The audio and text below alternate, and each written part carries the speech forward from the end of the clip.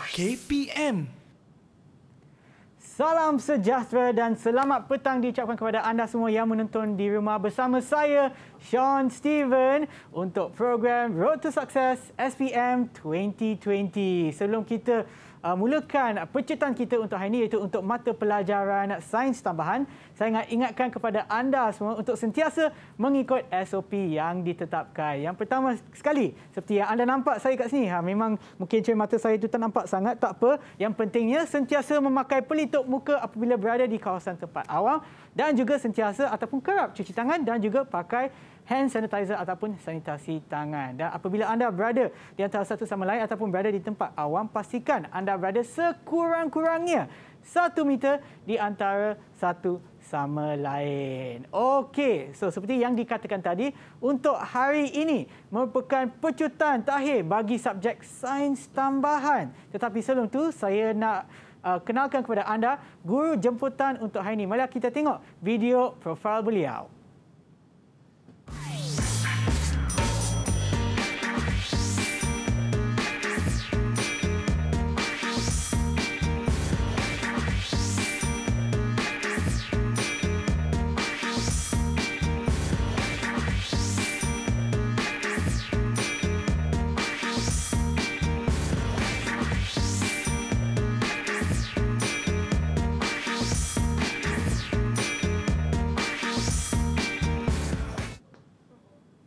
Itulah dia uh, guru jemputan untuk hari ini iaitu Cikgu Rosnizan. Selamat datang Cikgu. Selamat datang Syawan. Okey, baiklah Cikgu. Untuk hari ini kita akan buat penceritaan terakhir bagi subjek sains uh, sains tambahan. Sains tambahan, yes. Okey, mungkin Cikgu boleh terangkan sedikit apa yang kita akan sentuh ataupun fokus untuk penceritaan uh, subjek hari ini. Okey, untuk subjek hari ini Yeah. kita akan fokus lebih kepada soalan di mana certain pelajar dia Yeah. Uh, kadang-kadang dia tertinggal soalan berkenaan, Yeah. maybe dia rasa susah ke Yeah. ataupun mungkin dia punya input untuk bagi jawapan berkenaan tu tidak berapa banyak and then hari ini kita cuba ungkaikan setiap soalan berkenaan Yeah. bagaimana jawapan-jawapan yang mudah untuk dia skor.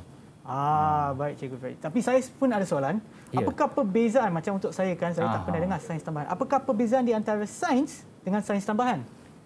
Uh, kalau sains tu semua student ambil Ya. kecuali uh, pelajar-pelajar sains tulen, fizik, kimia, Ya. bio. Untuk sains tambahan ni bagi pelajar yang medium Ah. di mana pertengahan. Ya. Uh, dalam tu dia ada tiga, fizik, kimia dan juga biologi. Ah, Uh, untuk pelajar faham. medium lah Ya. yang mana ke arahnya dia tidak adalah lepas uh, habis belajar nanti dia mau tu doktor tu tak Ah, adalah. dia lebih Tapi umum lah. lebih kepada assistant, Ah. uh, dresser ke apa ke untuk tu lah. Faham Cikgu. Ah, Tapi pada pandangan Cikgu pula, Mhm. adakah subjek ini susah untuk skor? Uh, ada sesengahnya kata susah untuk Ya. yeah. skor. Mungkin uh, certain-certain tu mungkin dia tengok dia punya sebabnya uh, dia punya subjek berkenaan dia punya dalam tu kandungan sendiri tu Ya. dia rasa agak susah sebab kita ada tiga disiplin kan. Ya. Uh, tapi uh, lepas dia belajar secara detail Mhm. and then kita tengok teknik-teknik jawabnya Ya. insya-Allah dia boleh skor dengan cara mudah Ah, baik cikgu, baik cikgu. Hmm. Okey, apa kata kita tengok uh, pula pandangan daripada calon-calon SPM yang akan datang nanti bagi subjek boleh. sains tambahan. Didik TV. KPM. Saya calon SPM bagi tahun 2020 dan pelajar bagi sains tambahan. Bagi saya, subjek sains tambahan ni tak semua sekolah ada dan tak semua orang yang tahu. Uh, itu yang menyebabkan sains tambahan ni unik. Bagi pelajar yang mengambil sains tambahan, kalau kita lebih committed, kita lebih komitmen dengan cikgu yang betul-betul berdedikasi untuk mengajar kita, tambah tambah lagi kita fokus dalam kelas InsyaAllah time exam kita boleh jawab dengan penuh keyakinan dan insyaAllah result kita pun akan cemerlang Saya mengambil mata pelajaran sains tambah. Sains tambah mempunyai mempunyai beberapa peringkat iaitu peringkat yang susah, senang dan yang sederhana. Bagi bahagian yang susah bagi saya ialah bahagian biologi iaitu peredaran darah dan sistem hidup manusia. Kita, dan saya mengharapkan calon SPM pada tahun ini mendapat urusan yang cemerlang. Yang saya ambil ialah sains tambahan. Sains tambahan ini tidak begitu mudah. Bagi saya, bahagian yang suka ialah bahagian kimia, iaitu konsep Moore dan ikatan kimia. Saya mengharapkan semua calon SPM di Malaysia dapat melakukan yang terbaik. Semua tangga pelayang anda mampu melakukan. Didik TV. KPM. Itulah dia pandangan daripada calon SPM kami bagi subjek sains tambahan. Baiklah sebelum kita teruskan lagi apa kata kita saya nak ajak cikgu untuk ke sana bagi kita sanitasi tangan. Okey, boleh.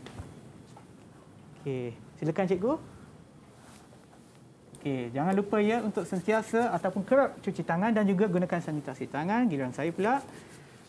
Okey, supaya kami berada dalam uh, keadaan yang bersih dapat menangani um, penularan COVID-19. Okey, sekarang saya nak ajak cikgu untuk buka pelitup muka. Dan seperti yang anda nampak di sini ya adik-adik semua yang menonton di rumah kita juga ada sediakan bekas khas untuk menyimpan pelitup muka. Cikgu bolehlah gunakan. Ah ya dekat sini pun saya pun telah sediakan bekas saya tersendiri. So janganlah biar merata-rata atas meja ke atas lantai pastikan ia disimpan di tempat yang selamat dan boleh digunakan semula ataupun bergantung pada anda sekiranya anda nak menggunakan pelitup muka yang baru. Ah lagi baiklah. Okey cikgu. Silakan kita uh, kembali semula ke tengah. Okey. Okey, silakan cikgu. Okey, saya nak beri kat sini sebab nak bagi tahu kepada anda semua kami akan berehat seketika dan kembali semula ke percetakan terakhir bagi sains Ah, tambahan di uh, Road to Success SPM 2020. Jangan ke mana-mana. Didik TV. KPM. Hai, saya Alvin Chong nak wish semua pelajar-pelajar sekolah selamat kembali ke sekolah. Abang Alvin nak ingatkan semua pelajaran sangat penting dalam kehidupan supaya kita boleh berfikir dengan cara yang kritikal, menilai baik dan buruk dan supaya kita boleh jadi insan yang berguna. Adik-adik, belajar sungguh-sungguh dan stay in school. Assalamualaikum, saya Din, penyampai Radio Hall FM kepada adik-adik yang menduduki pemeriksaan sijil pelajaran Malaysia. Abang Din doakan semoga dapat fokus, teliti jawab exam tu, dapat jawab semua dengan terbaik dan semoga mendapat keberkatan daripada guru, ibu bapa. Itu penting, doa pun penting dan semoga mendapat uh, result yang cemerlang dalam SPM. Amin. Luck. Hai kepada semua adik-adik Abang Dafi yang masih bersekolah and bakal go back to school. Uh, harap korang excited sebab dapat pergi sekolah balik ni. Hopefully you guys akan manfaatkan sepenuhnya segala jenis pembelajaran yang korang boleh dapat kat sekolah. Tak kisahlah dari segi akademik ke, dari segi moral ke atau apa saja aspek kehidupan ni. Sebab ni semua yang akan menjadikan korang seorang yang berjaya, berguna and disenangi di masa akan datang. Satu lagi, trust me, Masa persekolahan ni is the best time of your life yang once dah berlalu korang takkan dapat balik dah. So make sure to enjoy it while it lasts and study smart. Bye guys, good luck. Didik TV. KPM.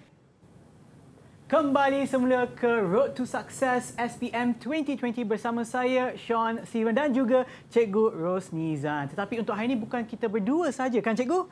Ya, kita juga ada uh, tetamu khas ataupun uh, murid-murid jemputan daripada SMK Tengku Lela Segara Marang Terengganu. Hai semua.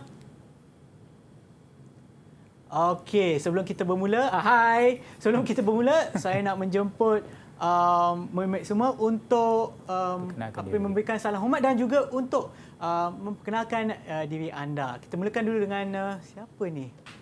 Uh, Okey, tak apalah. Siapa-siapa yang nak mula bolehlah. Silakan. Okey, ya. Yeah. Saya, uh, salam sejahtera dan Assalamualaikum. Saya Badrul Ajmal bin Abdul Rahman.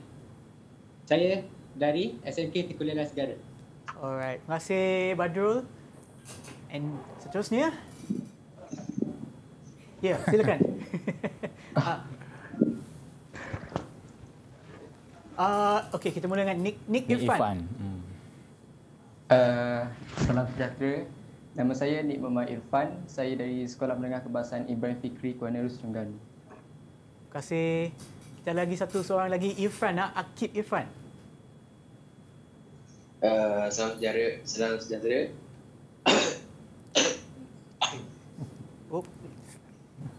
Nama saya Akib Irfan bin Abdul Rais ya.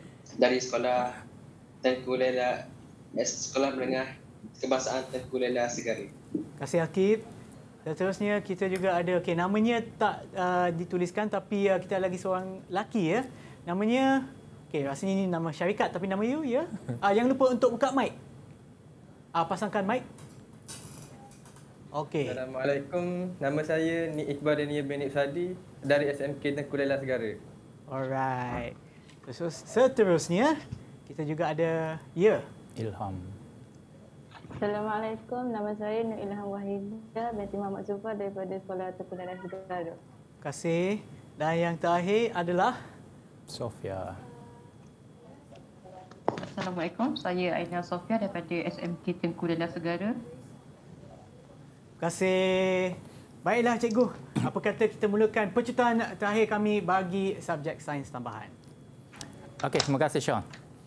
Okey, untuk hari ini kita pergi kepada additional science. Dia punya kodenya adalah 4561. Yep. Untuk penceritaan hari ini kita just fokus kepada soalan-soalan yang tertentulah. Ya. Okey, sebelum tu saya bagi dulu beberapa tips mudah untuk skor A. Ah, ini penting ni. Ya, A, A minus dan juga A plus lah. Ya. So kita kelompokkan kepada A lah. Okey, yang pertama, yang ni for sure lah. Semua soalannya sama je. Iaitu kita baca dan fahami stimulus rangsangan pada setiap soalan. Sebab kadang-kadang pelajar ni kalau dia tengok ada yang atas tu ayat-ayat atas, kadang dia miss. Okey, miss kat situ dia direct terus kepada soalan. And then kadang-kadang yang di atas tu stimulus tu dah merangsang dia punya minda dia di mana tajuk mana yang dia perlu uh, keluarkan balik. Uh, Di situ dia dapatlah input-input yang berkaitan lah. Uh, Okey, yang kedua, so fahamilah kendak setiap pecahan soalan. Biasanya kita akan go through semua soalan di mana di situ juga dia memberi sedikit hint kepada jawapan bahagian atas. Mungkin jawapan berkenaan berkait dengan yang seterusnya. Okey, dan kalau yang ada pada rajah dan juga jadual ni, yang ni dia kena rujuklah. Okey. Uh, rajah dan juga jadual sebabnya kadang-kadang rajah memberi gambaran yang berbeza. Ya. Okey, ada setengahnya uh, rajah tu dia memerlukan kita adakan dia perbandingan, kadang-kadang merujuk kepada rajah apa yang kita boleh buat situasi-situasi tertentu lah. dan yang last sekali uh, catatlah isi-isi penting yang berkaitan lah. Di mana yang tu membantu kita kadang-kadang kita lost Uh, mungkin kita dah pergi kepada soalan lain and then kita nak balik semula kita lost masa tu. And then bila ada dia punya isi-isi penting mungkin dia akan come back balik lah. Uh, dia punya poin-poin yang boleh kita buat untuk setiap soalan berkenaan. Okey, sedikit okay. yang ni yang biasa aja. Yang Yang, biasa, tips yang biasa. Kalau Ah. nak lebihkan lagi tips nanti kan takut nanti makan 2 3 hari lah. Banyak tips. Okey Syah, kita Okey, boleh terus cikgu. kepada latih to be untuk kertas 2 dahulu. Ah. Kita ada hari ini uh, kali ikutnya sains taman ni ada tiga kertas. Ya. Kertas 1, kertas 2 dan juga kertas 3. Ya. Tapi hari ini kertas 1 uh, rasanya uh, pelajar-pelajar saya dan pelajar-pelajar yang lain lah Ya. uh, di negara uh, di negeri-negeri lain tu Ya.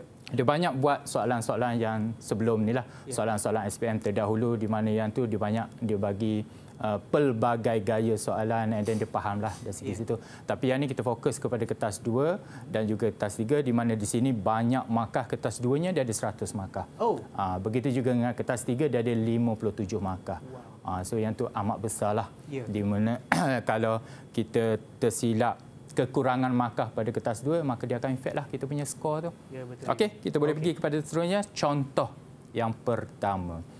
Okey. Okey, contoh yang pertama di sini uh, kalau kita tengok soalannya adalah terdapat dua kumpulan plastik. Uh, yang ni pelajar uh, dia tahulah ada dua saja, plastik termoset dan juga termo termoplastik. Okey, apa yang dia nak di sini adalah perkataannya bandingkan. Okey. Bila sebut bandingkan kedua-dua plastik itu berdasarkan sifat-sifat semula eh, sifat-sifat dia berikut, maka dia bagilah poin yang pertama takat didih, yang kedua keboleh nyalaan, yang ketiga kebolehan untuk dibengkokkan, yang keempat kebolehan diacu semula ke kondensan elektrik dan rintangan terma ataupun haba. Di mana yang ini dibagi enam markah. Bermaksud setiap satu memberi satu markah. Yang ni dia dah bagilah guideline pelajar. Kita fokus kepada yang ni je. Tak perlu kita sibuk-sibuk yang lain. Ya. Ah, Okey. Kalau kita sibuk yang lain nanti dia dah lari kepada tugasan yang di yang diberi. So di sini perkataan bandingkan dia ada istilah yang sebenarnya. Bandingkan sama ada dia ada persamaan Ya. ataupun dia ada perbezaan. Ya. Kalau kita nak beza soalannya dia fokus kepada bezakan. Ya. Okey, kalau bandingkan tu maka dia dapatlah dia bagi sama ada yang mana boleh ada sama, yang boleh boleh dibezakan. Ah, Okey, faham soalan ni? Nampak macam faham Okey, nak Kalau bila kita nak faham, bagi. tolong bagi thumbs up. Kalau tak faham, angkat tangan tanyalah. Ah, tanya Okey. okay. tu. Okey. Ah, kita tunjuk dulu dia punya bagaimana guideline dia. Lepas ni baru kita tanya pada student lah. Okey. Sebab ada beberapa soalan yang berkaitan, mungkin tajuk yang lain sikit lah. Baik, cikgu. Okey. Cara yang mudah untuk buat untuk bagi jawapan ni adalah kita buat graf saja. Ah, dalam bentuk jadual. Dalam bentuk jadual. Sorry, bentuk graf dalam bentuk jadual. Ah. Di mana satu adalah plastik termoset, kita ambil dia punya uh, label atas dia Ya. dan juga satu lagi adalah termoplastik yang tak ada markah lah. Ya. Yang ni dua ni dia punya dah guideline atas. Okey, yang pertama adalah takat didih tinggi, takat didih rendah. So itu menunjukkan perbe perbezaan dia. Tak perlu kita buat karangan takat didih bagi plastik termoset apa-apa-apa Ya. yang tu akan memenatkan student menulis lah. Ini Okey? adalah cara yang lebih mudah. Ah, lah. cara yang lebih mudah. Boleh Lagi buat mudah, dalam bentuk cepat. karangan tak ada masalah. Kalau oh tak ada masalah juga. Tak ada Kalau nak masalah. panjang-panjang Ah. pun boleh tapi ini lagi mudah ah, lah. Ya, bahagian Pemeriksa ni, pun boleh nampak ah, markah bahagian dia. kertas dua ni kita ambil bahagian esei. Ah. Perkataannya esei. Ya. Kalau ikut dari segi bahasa Melayu tu kita buat dalam bentuk karangan dah. Ya. Tapi untuk sains ni dia direct to the point. Ah. Ah, yang itulah direct to the point tu maksudnya kita nak intipati dia je. Ya. Memudahkan pemeriksa dan juga memudahkan kita untuk semak semula. Ya betul. Okey, yang kedua tidak mudah dinyalakan, mudah dinyalakan. Yang ni terdapat perbezaan dia. Tidak mudah dengan mudah. Ah, Okey. okey. Yang kedua tidak boleh dibengkokkan dan juga boleh dibengkokkan. Yang keempat boleh diacu semua uh, boleh diacu sekali sahaja. Manakala yang ni boleh diacu beberapa kali. Yang kelima tidak kondaksi elektrik. Kedua-duanya tidak mengkondaksi elektrik. Yang ni yang saya kata persamaan dia tadi. Aha. Okey. Dan yang tu ketahanan haba tinggi, ketahanan haba rendah. rendah. Ah, yang ni bila kita tengok sini macam kita ulang balik tak dia punya uh, point dia tadi. Ya. Betul. Ya.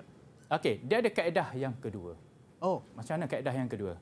Yang ni kaedah ni lagi jimat masa. Ah. Ah, dia ada. Jimatnya apa? Kita tulis apa dia punya sifat Ah. semuanya. Dan kita buat ni je, tinggi, rendah, tidak mudah, mudah, itu lebih cepat. So terpulang pada student lah kita bagi dua cara dia and then dia boleh pilih yang mana dia nak. Kadang-kadang kita bagi cara yang ni, student ni lebih fokus cara yang ni. Ya. Mungkin student yang satu lagi dia fokus cara yang berbeza. Ya. Ah, dia pelbagai dan kita terimalah semuanya. Ha, kalau saya saya pilih yang ni lah cikgu. Ah. Lagi senang, lagi cepat. Sebab dia satu je kita bagi dah. Ah, ya. Kita tiru je dia punya daripada soalan Ya. dan kita bagi jawapan dia. Ah. Lagi cepat. Lagi mudah. Boleh faham? Senang kan? Sekarang ni baru nampak tips dia lah. Okay. Ya. Sebenarnya kita belajar banyak benda belajar bila sampai ke examnya. Ya. Kadang-kadang orang cakap mudahnya nak bagi jawapan. Hmm. Ya betul. Yang belajar tu memang kita kena fokus semuanya supaya Ya. kita tahu input dia tu. Ya. And then kita punya ni maka uh, mudahlah untuk kita bagi uh, dia punya jawapan berkenaan. Kita mudah, pemeriksa pun lagi mudah. Ya, Ha, betul. Lagi senang nak bagi makan. Ah, pemeriksa Makan senang terus. nak cari jawapan tu lagi mudah dia bagi tu lah. Ya, Kalau kita menyusahkan pemeriksa tahu je lah macam mana lah. Ah. dia punya emosi. Ya. Ah, Okey, kita jaga maksudnya kita jaga hati-hati pemeriksa kita Ya. insya-Allah lah kita boleh dapat. Tapi kalau salah tu tetap salah lah. Yalah, tak boleh yang tu tak boleh Ah, yang tu lah. kita tak boleh nak elak lah. Ah. Okey. Uh, boleh pergi yang seterusnya. Seterusnya kita pergi kepada tajuk yang lain. Okey, di mana uh, yang ni bukan dari segi perbandingan lah. Yang ni dia punya soalan ni tahap tinggi sikit. Okey. Uh, dia punya ni dipanggil analisis dan juga sintesis lah. Okey, di mana getah asli adalah satu contoh polimer asli. Uh, apabila polimer asli ditambah dengan benda asing. Okey, benda asing. Yang ni dia punya key dia lah kat situ. Ya. Okey, polimer itu menjadi lebih kuat dan lebih tahan apa? Perkataannya lebih kuat dan juga lebih tahan apa? Di mana getah asli di sini dia punya sifat dia adalah tidak kuat lah. Ya. So kita tambah sedikit benda asing maka nak jadikan dia lebih kuat. Dan terangkan bagaimana getah asli diterulkan untuk membuat tayar kapal terbang. Perkataan Ah. di sini untuk membuat tayar kapal terbang. For sure lah kita tahu tayar kapal terbang ni bila dia landing, bila dia take off, okey. Bila dia landing, bila dia take off tu maka dia perlukan uh, tayar yang lagi kuat. ah, Ya. lebih kuat dari segi kekenyalan dia, Ya. uh, tahan ketahanan haba dia Ya. dan sebagainya lah. Okey, ada siapa agak-agak jawapannya? Boleh bagi? Kita ada enam orang ni. Eh, Siapa yang nak bagi? Volunteer. Ah tadi. Ah, Okey. Sorry, nama you apa lagi Ni sekali Iqbal. ya? Ah Iqbal. Okey, okey, okey. Um, poin yang pertama, getah asli dirawat dengan sulfur monoksida melalui proses pervulkanan. Ya. Okey. Uh, po- Ada lagi? Poin yang kedua? poin yang kedua, campuran sulfur meningkatkan jisim molekul relatif bagi polimer getah. Ada lagi? Poin yang ketiga, pembentukan rantaian silang sulfur. Okey, kita tengok jawapan tu lebih kurang tak sebab yang ni dia simple je. Ya. Walaupun kita tengok soalan ni dia uh, mencukir pelajar tapi jawapan tu direct apa yang dia belajar je. Ah. Ah dia punya point dia tu uh, kata apa ni dia dah dah setting. Ya. Apa yang dia buat cumanya kita bagi dia punya soalan ni uh, supaya pelajar tu dia lebih berfikir Ya. uh, bagaimana kita nak buat tayar, apa kaedah yang digunakan dan sebagainya lah. Dan saya ada perasan juga ya perkataan seperti diterbolkan tu Ah. sebenarnya adalah proses untuk menguatkan. Ah, ya, So betul. dia dah bagi Itu macam proses tips. dia. Dia Ah, bagi betul. dah dia punya tujuh hala dia. Ah betul betul. Ya ni. Okey. Dia dah bagi. So uh, pelajar dia tidak lagi lah daripada konsep sebenar dia tu. Ah. Okey, kita tengok yang pertama. Sorry. tengok yang pertama ah yang ni. Yang ni penting. Yang ni adalah benda asing yang digunakan tadi. Betul Ya. lah. Uh, getah asli dirawat dengan sulfur monoklorida melalui proses pemvulkanan. Dia punya proses lah. Ah. Perkataannya. Yang tadi lah. Ya. Yang divulkankan tu maka dia adalah proses pemvulkanan. Kenapa proses tersebut dibuat? Okey, tujuannya adalah untuk meningkatkan campuran ini dia akan meningkatkan jisim dia. Kenapa dia meningkatkan jisim dia? Maka pembentukan rangkai silang sulfur tu akan menyebabkan uh, dia akan menghalang rantaian polimer getah daripada menggelongsor antara satu sama lain. So Ya. kalau tidak ada dia punya rantaian maksudnya dua benda, Ya. kalau kita kenakan daya dia akan mudah menggelongsor. Bila mudah menggelongsor tu yang itulah dia uh, tidak tahan haba Ya. ataupun mudah uh, haus dan sebagainya lah. Ya. Okey. Dan uh, dia akan menyebabkan getah menjadi kuat dan juga tidak mudah mencair serta menjadikannya lebih elastik dan juga lebih kuat. Yang itulah yang kita nak tadi. Yang dikata bagaimana kita nak jadikan getah tersebut lebih uh, kuat yang tu. Dan lebih tenaga haba diperlukan untuk memutuskan rangkaian silang. Oleh itu, getah terlukan mempunyai ketahanan haba yang tinggi yang tinggi yang ini. That's why lah untuk kapal terbang itulah tayar dia tu. Ya. Sebabnya dia uh, dia memerlukan ketahanan haba tu, dia memerlukan haba yang tinggilah. Ya. Uh, untuk jadikan untuk haus dan sebagainya. Tapi Ah. lama-lama dia akan jadi haus jugalah. Yalah. Uh, dia tak tahan selama-lamanya. Ha, Betul ya, Gu. Ya. So, misal kata Ah, uh, di ya. sini kita ada enam uh, enam ayat. Bermaksud setiap ayat tu satu markah ke? Ah macam ya, mana? satu poin. Ah. Ah, maksudnya kalau dia getah asli dirawat dengan sulfur monoklorida, full Ya. stop. Ah, Okey, itu melalui proses pemvulkanan. Tak ada masalah. Dia akan Ah, dapat sini one point. Okey, campuran tu meningkatkan jisim. Katakan dia beritahu campuran meningkatkan jisim molekul relatif. Dia lupa yang ni. Tak ada masalah sebab kita dah fokus yang atas ni. Dia tak Ah, lari dah dia punya okey. tu. Tapi yang ni saya bagi yang full lah. Ya. Dia punya full tu kadang-kadang student ni dia tertinggal apa semua kita tengoklah dia punya kaedah. Kita boleh macam kira cover balik lah. Ya betul Ah. dia punya tu. Cover balik dia tu. Sebabnya dia tak lari dia hanya guna sulfur je lah. Ya. Kecuali dia bagi bahan yang lain tetapi di bawah ni dia tidak bergantung yang atas. Jawapan di bawah tu lain maka dia tidak akan ada kesalahan lah. Okey? Ya. Uh, Okey boleh kita teruskan yang lain. Ilham okey? Adik Ilham kacau nak tadi ya. Tak apa, apa? okey. okey. Teruskan cikgu. Okey. Yang ni kita pergi kepada yang tadi soalan untuk yang fizik lah. Eh, kimia, sorry. Ah, Kimia. okey, kimia. Yang ni kita pergi kepada biologi. Ah. Okey. Macam mana di video tadi kita nampak uh, yang Ajmal kata biologi ni uh, masalah sikit kepada dia lah. Ya. Terutama dalam kita hit. Tapi yang ni bukan kita hit lah. Ya. Yang ni sebahagian tajuk dalam tajuk kita hit. Ya. Okey. So dua gambar yang diberi ini rajah 10.1 dan rajah 10.2 menunjukkan proses spermatogenesis dan juga proses oogenesis. Di mana dia tahu bila spermatogenesis ni dia mahu tu lelaki lah. Ya. Okey. Dan juga oogenesis kepada perem- perempuan. Kadang-kadang ada yang tertukar. Ya. Sebabnya walaupun uh, dia melibatkan diri kita bila belajar ni dia akan confuse. Ya, sebab Ah. istilah dia kan hampir ya, sama. istilah dia, istilah sains tu. Tapi Dia saya rasa tu. dengan rajah ni ataupun dengan gambarnya kita Tapi yang ni dia dah bagi. Ah, hey, dah bagi dah. Yang ni. Ah. Dia bagi sperma dan juga dia bagi ovum dan nampak lah dia Ya. tu. Cuma dia punya istilah yang ni lah.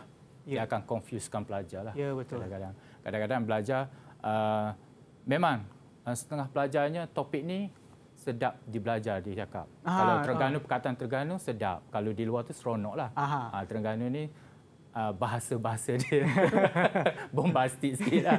Ah, Okey. Betul Sean. Kadang-kadang mungkin Sean tak faham kot sebab Ah. saya datang Terengganu dan juga anak-anak saya ni pun datang dari. Terengganu. Tak apa, kita belajar okey, sama-sama, cikgu. Ah. So yang ni prosesnya daripada atas sampai bawah. Ya. Okey. Dan juga yang ni pun samalah. Dia punya step by step dia. Di mana dia ada dua, mungkin soalan tu dia nak perbandingan antara dua ni. Kita nampak nampaklah perbezaannya banyak. Ya. Tapi kita nampak ada ada dua tiga yang yang sama. Contohnya apa? Contohnya adalah meiosis di sini dan juga di sini adalah meiosis juga. Di mana proses pembahagian dia melalui mi meiosis. Meiosis. Okey, kita tengok soalan dia apa yang dia nak. Okey, yang pertama bermula dari spermatogonia daripada asal tadi terangkan pembentukan spermatozoa. Yang ni saya kata tadi rujuk kepada rajah. Ya. Bagaimana kita nak uh, elaborate dia, kita nak terangkan dia punya proses dia. Okey. Ah. So, uh, ada yang nak jawab ke? Ajmal ke tadi kata tak berapa faham payu mungkin sekarang ni dah faham. Okey Ajmal nak try. Okey try Ajmal. Tak apa dua tiga jawapan pun cukup dah. Uh, spermatogenesis, spermatogonia berkembang menjadi sperma sperma primer. Okey. So kita tengok sini lah. Lepas tu, lepas tu poin kedua, Ah, sperma okey. sperma spermatosis primer mengalami meiosis. Mengalami meiosis ya ni. Okey ada yang ketiga. Yang ketiga untuk membentukkan dua sperma sekunder. Okey yang ni dia tengok sini. So mudah bergantung kepada rajah sahaja. So bermakna jawapannya sebenarnya boleh didapati ataupun boleh di, uh, boleh didapatkan daripada Ah. rajah tersebut lah cikgu. Ya, cuma kita elaborate sikit je dia punya konsep dia. Kita nampak Ah, dia punya ya. rajah ni. Ya. Cuma kita nampaknya dia punya flow je tapi proses dia tu. Ah. Okey. Pelajar biasa dia belajar dulu proses dia and then rajah sebelahnya. Ya. Maka penerangan dia tu berdasarkan rajah uh, kadang-kadang kita kata biar rajah berbicara, gambar berbicara kan. Ya. Ah, kadang-kadang gambar berbicara tu banyak dia punya uh, persepsi yang kita nampak. Ya. Ha, tu. Tapi di sini kita nampak yang itulah. Okey, kita tengok dia punya jawapan dia sebab jawapan dia kita refer pada buku teks je. Ya. Okey, dia banyak fakta daripada buku teks. Yang pertama, maka kita pergilah berkembang menjadi start dengan sperma sebab dia kata bermula. Maka Ya. kita startlah dengan spermatogonia berkembang menjadi spermatosid primer. So ni dapatlah one mark. Okey. Okey. Yang kedua, setiap spermatosid primer mengalami meiosis dapat one mark. And then yang ketiga untuk membentuk dua spermatosid sekunder. Okey. So dapat tiga markah. Yang dia nak adalah enam. Kat mana lagi? Okey. Dan kita pergi seterusnya yang di bawah-bawah dia tu. Okey, setiap spermatosid sekunder juga mengalami meiosis. Yang ni meiosis yang pertama. Ya. Yang ni meiosis yang ke yang Dua. kedua di bawah dia and then hasilnya adalah membentuk dua spermatik. Okey, dan spermatik menjadi matang. 1 2 3 4 5 6. Enam markah. enam markah.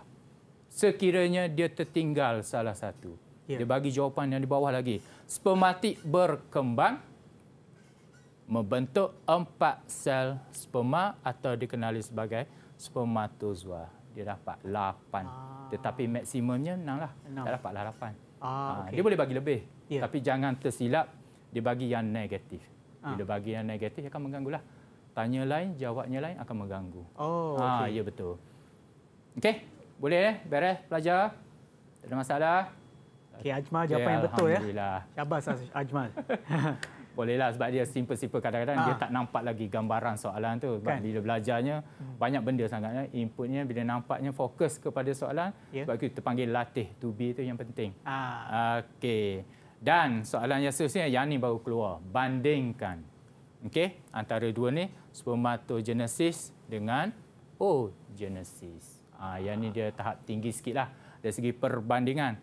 Okey, yang ni juga kita buat dalam bentuk jadual lah. Mudah. Ah, kita bagi, okey saya bagi teruslah jawapan dia tu.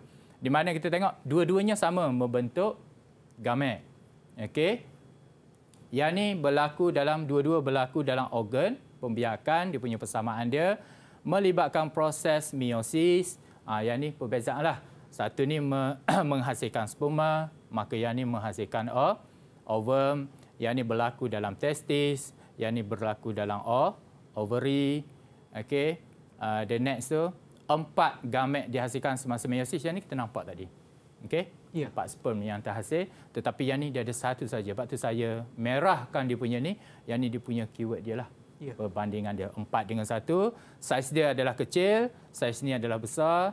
Okey? maka kita tengok dari segi fizikal dia. Ya. Memanglah kalau ikut kita tak nampak tapi dalam uh, buku tu dia akan bagilah. Ya. So sebab dia terlalu kecil tu, maka dia mempunyai kepala, leher dan ekor yang ni berbentuk bulat dan yang ni tiada jasad kutub, yang ni ada jasad kutub. Kalau kita tengok dia lebih kurang ada 9 markah tapi yang kita nak 6 je. Enam je. Ah, so Baik jawab lebih kan? Ya, jawab lebih. Kalau kita ke? confident, Ya. dia jawab lebih. Ah. Kalau kita tak confident, kita takut nanti over confident, takut jawapan tu jadi salah, Ya. ah, maka saya tak tahulah dari segi istilahnya salah betul tu macam mana respon pemeriksanya. Ya. Okey kalau kita tahu senang. Hmm. kita, kita boleh just bagi tahu aja yang pemeriksa tu Ya. abaikan yang salah. Boleh ke kita arahkan pemeriksa tak boleh. Oh, boleh lah. ke? Oh, tak boleh. Ah, tak Ah, boleh. alamak, Yang tu boleh. rahsia yang kepada pemeriksa takkan diberitahulah kepada Yalah. orang kalau tahu semua dapat A+ nanti. Kan. Okey, seterusnya. Boleh boleh pergi. Ke dah penat dah. boleh petang-petang ni biasanya tidur lah. Waktu Okey. yang sesuai untuk tidur. Hari ni kita rajin sikit. Okey, yang ni rajah untuk soalan uh, fizik ke kimia yang ni. Yang ni adalah soalan kimia. Okey, soalan kimia. Okey, yang ni biasanya student dia akan tahulah dia akan hafal. Dia punya dari segi apa? Uh, pecahan-pecahan daripada petroleum. Ya. Okey, kita bagi gambaran ni contoh soalan ni dia bagi RSTUVWX bitumen last sekali. And then student tahulah dia punya ni dari segi uh, bagaimana kenapa pemecahan tersebut boleh dijalankan dia ada satu je iaitu kita tengok daripada sini. Dia punya takat didih dia berbeza. Ya. Yang atas tu paling rendah, yang bawah ni paling Tinggi. paling tinggi eh, tinggilah. Okey, tinggi dan juga rendah. Rendah tu duduk di bawah. Yang eh sorry, yang rendah duduk di atas, yang paling tinggi tu duduk di bawah hasil dia. Ya. Okey, yang ni uh, yang saya kata tadi stimulus tu dia beritahulah melalui proses ni maka dia punya ni pecahan petroleum yang terhasil daripada proses penyulingan berperingkat. Perkataan tu pecahan. Yang ni penting. Maka student tu dia akan come up lah dia Ya. punya uh, input dia tu apa dia punya ni. Uh, dia ni bahan-bahan tersebut mengikut dia punya turus dia lah. Ya. Okey. Dan kita bagi soalan. Soalan ni sama dengan soalan yang tadi dibagi guideline ni. Okey. Dia nak bandingkan pecahan petroleum tapi dia fokus kepada S dan juga bitumen sahaja. Hmm. Kalau kita tengok balik patah balik kepada gambar ni di mana dia nak S dan juga bitumen saja. Adalah S di yang atas, paling tinggi ya. Ah, bitumen yang bawah. Yang soalan-soalan lain ni ada. Cuma saya fokus bahagian perbandingan sebabnya uh, contoh saya bagi ada yang PM saya daripada Sekolah Sri uh, Garing Rawang. Ya. Kata cikgu, bagaimana kita nak bagi pelajar kita mudah faham soalan-soalan tertentu. Hmm. Saya kata uh, kebetulan tanya tak apalah nanti saya melalui Didik TV lah saya akan bincang. So bagi budak dia punya jadual Ya. dan insya-Allah ya tu. Dan selepas tu barulah saya bagi input-input yang lain lah Ya. untuk kemudiannya. Okey pecutan yang kadang-kadang dia orang melalui WhatsApp je lah. Ah. Ah, tanya tu insya-Allah kita bantulah selagi yang terdaya. Ya, cikgu. Okey. Okey, kita pergi yang ni.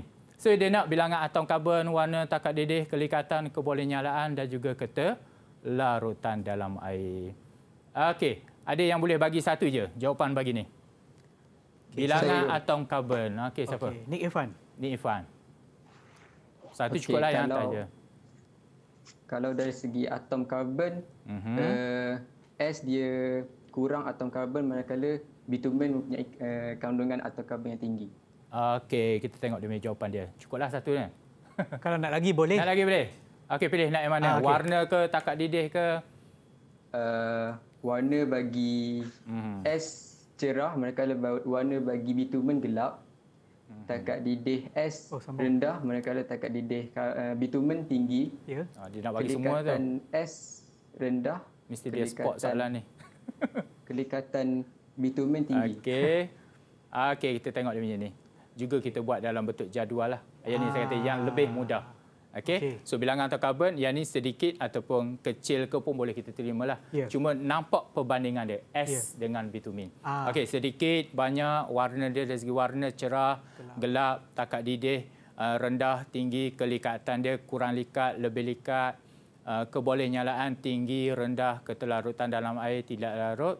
Yang dua-dua lah tidak larut dalam air. Ah. Okey, kalau kita buat dalam bentuk karangan tak ada masalah, boleh Ya. je. Mungkin dia buat bilangan atau karbon bagi S adalah sedikit berbanding bita- bitumen adalah banyak. Tapi panjanglah dia punya Ya. tu. Ha, nak mudahkan cepat kita bagi, kita nampak gambaran jelas tu lebih kepada jadual lah. Okey? Ya, cikgu. Supaya lebih nampak. Ah, Mudah lah. Ya. Ah, masa ni nampak mudah lah. Ha, kalau nampak pun sifat fizik pun telah pun diberikan dan cuma kita perlu bandingkan sajalah. Ah, ya betul. Dan seperti yang Sifat cikgu dia. cakap tadi, ban- perbandingannya ada persamaan seperti kelautan dalam Ah, air. yang ni betul. Dan juga yang lainnya. Yang lain tu perbandingan. Ah, Ah, perbezaan. per- perbezaan. dia. Ya, betul. Okey. Okey. Okey, yang ni dia punya apa ni soalan yang lebih tinggi sikit yang analisis. Ah. Kita nampak soalan tu boleh orang kata apa ni soalan kebat-kebat kemahiran berfikir aras tinggi. Bagaimana rupa dia? Kadang-kadang dia banyak uh, versi dia. Okey. Uh, racun uh, perosak dan juga baja yang dihasilkan daripada petroleum. So sini kita fokus pada yang dihasilkan daripada petroleum digunakan oleh kebanyakan petani di sawah padi mereka. Yang dia nak adalah kesan sampingan uh, produk tersebut kepada tanaman dan persekitarannya. Okey, kesan dia. Dia guna tu memang of course lah uh, untuk dapatkan tanaman yang orang kata lebih segar, lebih apa, dia guna Ya. racun perosak Mhm. untuk uh, membunuh perosak yang itulah yang menyebabkan tanaman dia rosak apa semua tu. Ya. Okey, tapi kita nak tengok lebih kepada kesan sampingan. Aha. Di mana kita tahu dia punya petroleum di sini, dia adalah bahan kimia. Ya. Okey, bila sebut di situ bahan kimia, maka kesannya yang pertama, tanaman yang tercemar dengan racun serangga akan membahaya kepada manusia di mana dia boleh menyebabkan kanser. Ah. Tapi bukan dapat tu terus jadi kanser lah. Yelah. Mungkin dia ambil masa yang lama lah. Betul. Okey. Ya. Ah, salah satu orang kata kadang-kadang dari segi pemakanan kita lah. Hmm. Okey. Mungkin uh, dia punya bahan kimia tu tidaklah terus bagi kanser. Okey. Tapi adalah- ya, adalah yang boleh betul, yang menyebabkan boleh kanser. menyebabkan. Okey. Ya. Yang kedua, ada yang nak bagi poin yang kedua. Okay. Badrul Azmar, senyum je ataupun Sofia? Okey, Okey, okey. Akib. Uh, poin yang kedua ialah bahan buangan yang mengalir ke sungai menyebabkan air sungai tercemar yang ia dapat mengancam kehidupan akuatik dan manusia. Okey. ada, ada lagi nak bagi? Poin yang ketiga ialah Mhm. uh, ia juga dapat memusnahkan kehidupan akuatik dengan pertumbuhan pesat alga. Okey, kita tengok jawapannya. Betul tak? Okey, bahan buangan yang mengalir menyebabkan air sungai tercemar, mengancam kehidupan akuatik dan juga manusia. Yang ni. Okey, yang ni full sentence, Ya. tetapi katakan dia bagi separuh je. Boleh mengancam hidupan yang ni. Sebab keyword dia di sinilah. Ya. Okey, yang tu ayat itu ayat sampingan je lah. Buang ke sungai tu boleh mengancam. Kita tahulah hidupan akuatik ni tak ada tempat lain lah. Sungai je lah. Hmm. Betul. Okey, poin yang ketiga dia bagi tadi adalah menyebabkan pertumbuhan pesat kepada al alga di mana dia punya bahan kimia tu orang kata merupakan makanan kepada alga lah. Ah. Maka dia akan tumbuh pesat, maka uh, bila dia tumbuh pesat, kesannya maka pengambilan sumber makanan daripada sumber yang tercemar tu boleh menyebabkan penyakit, kecacatan dan juga kematian kepada manusia, kepupusan flora dan fauna sungai. Kalau dia tak buat flora fauna, dia buat haiwan dan juga tumbuhan pun boleh Boleh. terima. Sebab Ah. yang ni uh, secara umum Ya. flora dan fauna. Tapi kebanyakan pelajar tak ada masalah. Hmm. Dia buat flora dan fauna sebab dia akan belajar benda ni je. Ah. Okey, tapi certain-certain tu mungkin uh, yang rasa pelik dengan flora fauna, dia rasa macam something new bagi dia, maka dia buatlah haiwan dan juga tumbuhan. Okey? Dan seterusnya pengurangan sumber makanan untuk manusia, keasidan tanah akan meningkat ataupun pH akan me- menurun. Okey, ada masalah? Ada pertanyaan?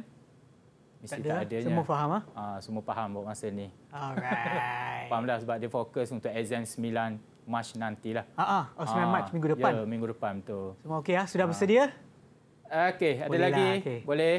Dengan kita bantuan kepada cikgu boleh soalan lah. yang keempat. Ya. Okey, yang keempat kalau kita tak bagi dia punya bawah ni agak-agak boleh tahu tak benda apa. Nyanyi kalau Tak tak, nampak, ada kan? tak nampak sangat. Betul. Sebabnya gambar dari segi uh, 2D je and then hitam putih tak nampak lah. Kalau color, insya-Allah lah boleh tahu lah tanpa Ya. bagi dia punya bawah dia tu. Okey, yang ni dia bagi uh, bagi tahu kita adalah uh, buah tomato tempatan dan juga buah tomato tomato GMO, genetically modified organism. Hmm. Okey. Uh, selepas dibiarkan, okey sorry, ni tak ada R. Okey, dibiarkan selama dua minggu. So kita tengoklah perbandingan dia.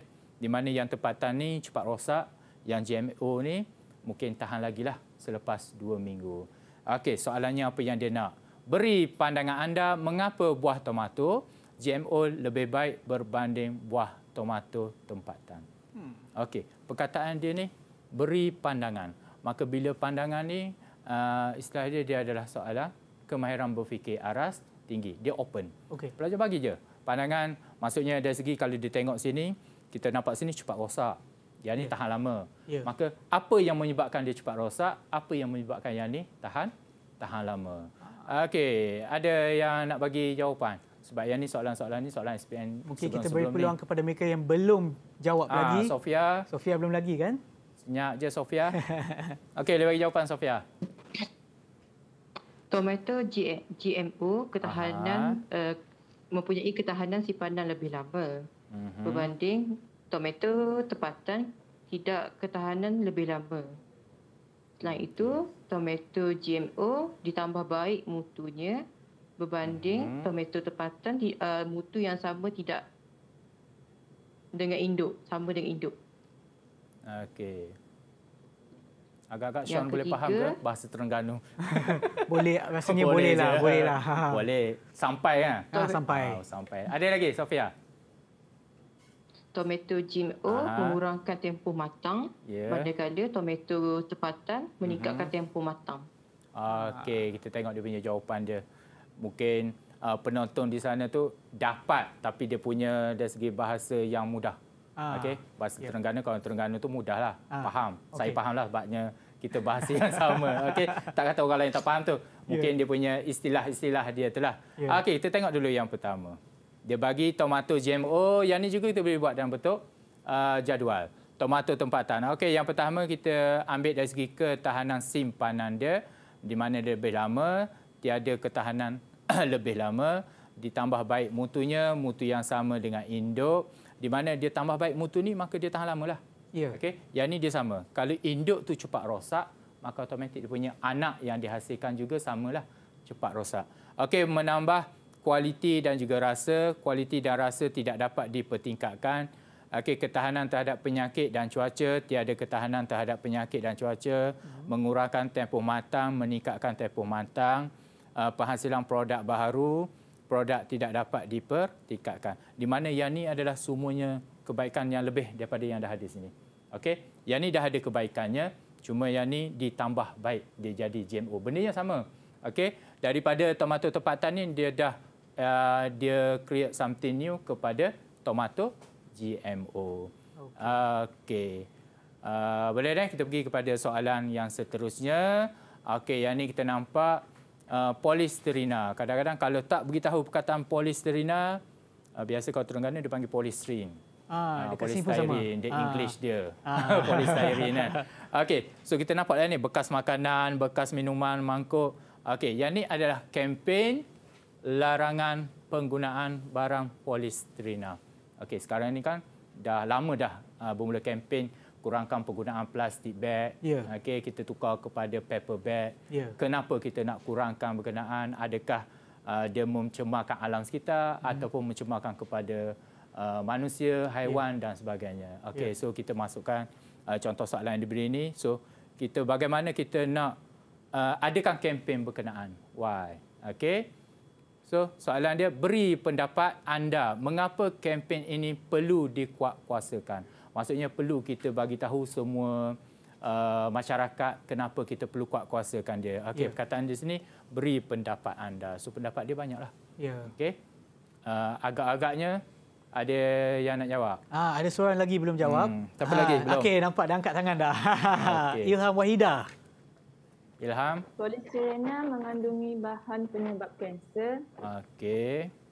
Polistirena tidak tahan haba dan menyebabkan pencemaran udara atau air. Hmm. Ada lagi? Polisterena menghasilkan gas toksik apabila dibakar. Okey. Cukup. Tiga. Kena bagi lagi. Banyak lagi rasanya poin dia. Nampak dah sediakan dah jawapan yang banyak. Polistirena memberi kesan negatif kepada hidupan akuatik. Mhm. Polistirena boleh menyebabkan banjir kilat disebabkan oleh parit. Okey, oleh parit. Okey, kita tengok poin yang pertama dia. Di mana dia mengandungi bahan-bahan yang boleh menjadi penyebab kepada kanser.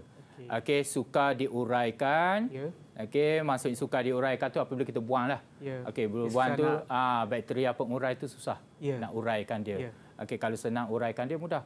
Dia akan jadi apa ni? Partikel-partikel molekul-molekul kecil lah. Ya. Okey.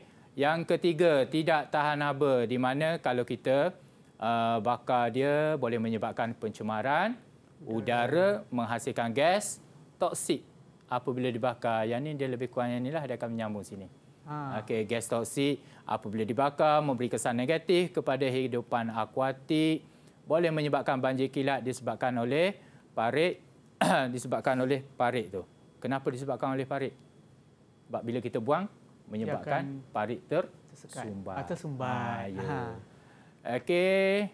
Beres yang tu. Jawapan yang betul daripada uh, daripada siapa tadi? Daripada Wahida. Daripada Ilham. Ah, Ilham Wahida. Ilham Ah, terima kasih. Okey, seterusnya kita pergi kepada soalan kimia yang tadi siapa tadi yang bagi tahu soalan kimia tadi sukar sikit.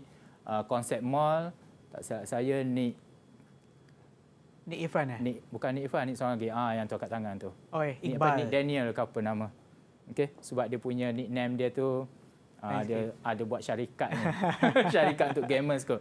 Okey, so kita tengok saja yang ni soalan ni bila student dia tengok memang kebanyakannya bila tengok lapang makan wow tingginya. Hmm. And then dia pun pejam dia bagi soalan lain. Sebab ni soalan pilihan, soalan esei. Ah. Ha. Tetapi kalau kita tengok soalan ni, Ya. maka kita tengok apa dia punya poin-poin yang mudah untuk kita dapat. Ya. Okey, yang pertama, kita bagi ni natrium klorida. Saya selalu pesan budak. Natrium klorida ni adalah garam biasa di rumah. Selalu kita makan hari-hari. Ya. Tapi bukan direct makan garam lah. Yalah, Selalu guna masakan. untuk ya masakan Ya. dan dikenali sebagai garam biasalah. Okey, garam biasa dan contoh sebatian ionik. Yang ni dah bagi tahu hint dia. Bila tahu sebatian ionik, maka dalam kepala dia dia akan melibatkan positif dengan negatif ion Oh, dia. okey. Ah, hint dia. Aha. Okey. Okey Syah? Okey, cikgu. Okey, kita pergi kepada dia tanya soalan dia terangkan pembentukan natrium klorida berdasarkan kepada yang pertama konfigurasi elektron, yang kedua pembentukan ion, yang ketiga pembentukan ikatan kimia. Dan dia punya hint lagi adalah di sini. Dia punya nombor proton dia Na adalah 11 dan klorin adalah 17. Okey.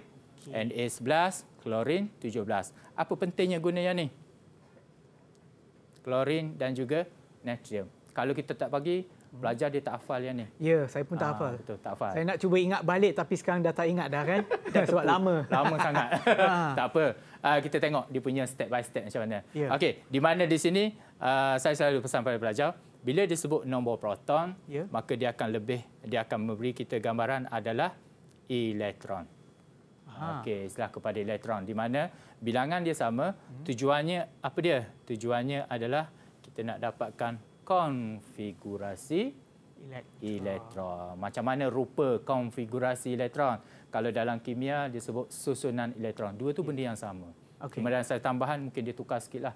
Nak Hmm. bagi tidak ada persamaan tapi bendanya dua-dua sama. Configuration elektron configuration. Okey. Okey, konfigurasi elektron. Okey, so sudah kau jawablah. Step yang pertama ikut apa yang nak. So konfigurasi elektron dia dah dibagi. Natrium adalah 281. Kenapa 281? Bila kita tambah dia akan dapat berapa? Uh, sebelas. Sebelas, betul sebelas. Ah. Dua, lapan, satu. Faham, Di mana dua ni dah fix penuh, dua. Ya. Okey, lepas tu diikuti dengan lapan atau kurang. Kalau ada lagi lebih, dia akan pergi kepada tempat yang ketiga. Dua, Ah. Dah, ingat dah. Ingat, ingat, ingat Ah, balik. Ingat balik. Yang Ah, kedua, okey, okey. yang kedua tadi ada 17. Ya. So kalau 17 dia akan jadi starting dengan 2 Lepas tu 8 jadi 10. Ya. And then Dia lagi tujuh baki kan? Ya, betul. 2 8 7. Okey. So jadi untuk soalan ni kita perlu tulis saja, tak perlu lukis. Tak perlu. Ah, Dia okey. just nak je. Ah, Tapi okey. kalau pelajar lukis. Ya. Pelajar lukis kita akan kira.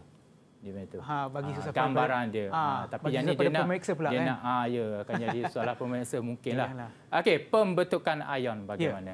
Pembentukan ion dia akan ikut pada ni lah. Dia akan elaborate satu-satu di mana kalau satu pelajar dia tahulah satu dua tiga nombor di belakang maka dia akan menghadapi kehilangan satu elektron yang di ujung. Sebab nilai satu dua tiga dia akan hilang. Ya. Ha, kalau lima enam tujuh Dia akan menarik. terima ya Terima. betul dia Ah. akan menarik sebab dia nak jadi lebih kepada lah 8 yang full. Ya. Okey, yang kedua, maka dia akan membentuk bila satu dia akan membentuk positif satu je. Oh. Sebab dia memberi. Ya. Maksudnya kalau katakan kita keluar memberi ah, kita dapat apa? Pahala. Ya. Tetapi kalau kita hilang tak adalah dosa. Maksud istilah di situ yang digunakan lah. Ya. Okey, so ataupun dua garis ni bermaksud atau dia tak pandai nak buat ayat, dia buat yang ni je. NA dia kehilangannya, kehilangan akan berada di sebelah kanan. Ya. Ha, akan berada di sebelah kanan iaitu kehilangan satu elektron. Dia akan jadi positif lah di sini. Okey, membentuk ion natrium. Yang ketiga, kita pergi kepada klorin pula, dia ada tujuh, dia nak jadi lapan. Dia akan jadi, dia minta satu, dia minta, dia nak satu lagi. Ha, kalau dia minta, dia pandai berkata-kata, susah lah nanti Ah, kita. kan. Okey, membentuk ion klorida negatif. Bila negatif, maka dia terima sini. Dia Ah, terima. dia sebelah kiri ah, pula. Sebelah kiri pula. Dia akan jadi Cl negatif. Ah. Maka ion yang berbeza charge tadi iaitu positif dan juga negatif automatiklah dia akan menarik ataupun saling tertarik antara satu sama lain. Kalau ion yang sama dia akan repel. Ya. Dia akan tertendang lah. Ya. So yang ni yang lain dia akan menarik, dia akan bergabung, maka dia akan membentuklah ikatan ionik. Yang atas tadi sebatian ionik, tapi yang ni ikatan. Kalau kita beritahu membentuk sebatian tak ada jawapan, tak ada markah. Ya. Sebab dia bagi tahu yang daripada soalan atas tadi. Okey, beres. Okey. Membentuk ikatan ionik. Ya. Okey, Okey, mermaid semua okey? Akina. Faham tak? Faham? Boleh? Okey, saya Okey, rasa kita maksudnya. akan uh, berehat seketika. Okey, boleh. Minum Tak ada air, masalah. pergi tandas, uh, apa ni serahkan diri ke? dan kita akan kembali semula ke Road to Success SPM 2020 sebentar lagi. Jangan ke mana-mana. Didik TV KPM Didik TV KPM Kembali semula ke Road to Success SPM 2020 bersama saya Sean Steven dan juga Cikgu Rosni Zan. Untuk hari ini kita buat penceritaan terakhir bagi subjek sains tambahan. Tetapi sebelum itu saya nak ingatkan kepada anda semua yang menonton di rumah dan juga dalam talian untuk sentiasa mengikut SOP seperti yang anda nampak tadi. Dekat sini ada sanitasi tangan. Pastikan anda guna. Tadi saya baru pergi tandas, saya nak sanitasi tangan. Dan juga ha kerap cuci tangan, pakai pelitup muka dan juga pastikan jarak di antara satu sama lain apabila dah berada dalam tempat awam tidak kurang daripada satu meter. Okey, cikgu, tadi kita dah sentuh kertas dua. Ya, betul. Apa kata kita ke kertas tiga? Okey, pelajar boleh kita teruskan pada kertas tiga. Okey, kita tengok pada kertas tiga. Kertas tiga ni adalah kertas uh, amali. Ya. Uh, eksperimen, dia ada tiga soalan. Uh, sebelum ni kita dah tengok secara detail lah soalan satu, dua, tiga. Tapi hari ini saya nak lebihkan kepada uh, sebab ada sunggutan daripada pelajar lah.